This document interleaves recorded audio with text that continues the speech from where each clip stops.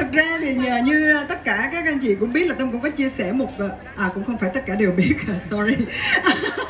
Thật ra là sau cái live show tri âm ờ, người- ờ, thì tâm ờ, ở hà nội á thì ờ, tâm đã về là để dành hết nguyên một tuần để chỉ đọc tất cả những cái cảm xúc chia sẻ của các khán giả thôi. Và trong cái show của tâm tâm có nói rằng, rằng là khi mà tham gia live show tri âm á là mang lại những cái cảm xúc mà của thời năm mấy mấy năm về trước để mang lại. Khi tất cả những người có những câu chuyện rất là bí mật có những sự đau khổ có những hạnh phúc trong suốt một cái quá trình như vậy. Và khi gặp à, khi tham gia vào cái live show đó thì tất cả những kỷ niệm đó được ùa về giống như thời gian được trở lại.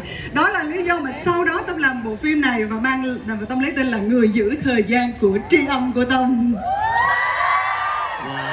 Dạ hồi nãy em cứ lén lén em hỏi um, thử một uh, bên dựng thì em nghe đồn là có gần 80 máy quay và gần mấy tấn gigabyte lận. Cho dữ liệu bộ phim này em hú hồn chứ bộ.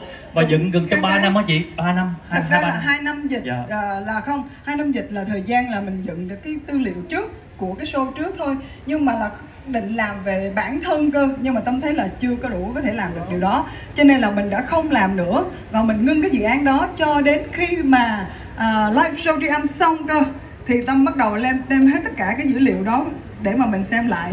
Nó tầm khoảng tám mươi mấy ngàn ờ, tám mươi ngàn ba trăm sáu mươi tám file em nhớ không được. Bởi vậy nãy là em mới nói là đạo diễn cũng xanh mồm xanh xanh mặt mà. Cỡ dựng đó quá lâu cái lọc được cái tư liệu để làm cái đó là cũng kinh khủng khiếp lắm. Dạ vâng ạ các bạn chị Mỹ Tâm